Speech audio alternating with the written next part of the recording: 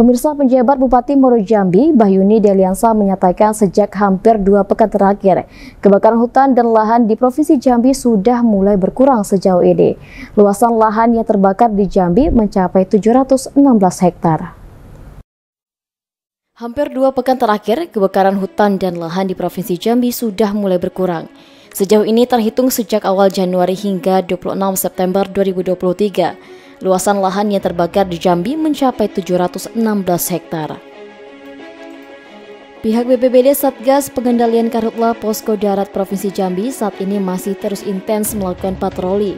Satgas Karhutla Darat ini tersebar di 59 posko.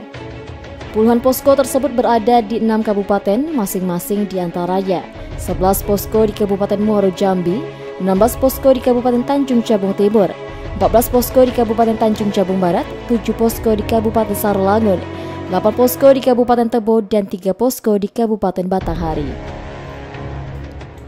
Satgas Karhutlah hingga kini masih terus melakukan penebalan pasukan dengan memaksimalkan personil di daerah yang rawan terjadinya karhutla. Adapun personil yang terlibat di posko darat Satgas Karhutla terdiri dari personil TNI, Polri, BPBD, Manggal Agni, masyarakat peduli api dan pihak perusahaan. Ini sudah hampir dua minggu ini uh, lahan terbakar semakin hari semakin sedikit. Terakhir di update uh, kemarin sekitar 716 hektar. Ada penambahan personil Satgas Darat? Personil dari 59 posko yang ada, uh, instruksi Pak Gubernur ditindaklanjuti oleh Pak Dandem sebagai pelaksana tugas uh, dan Satgas selalu melakukan penebalan pasukan yang kita anggap rawan, pasukannya bergeser yang tidak rawan ke, ke rawan. Tapi sampai hari ini kondisi normal.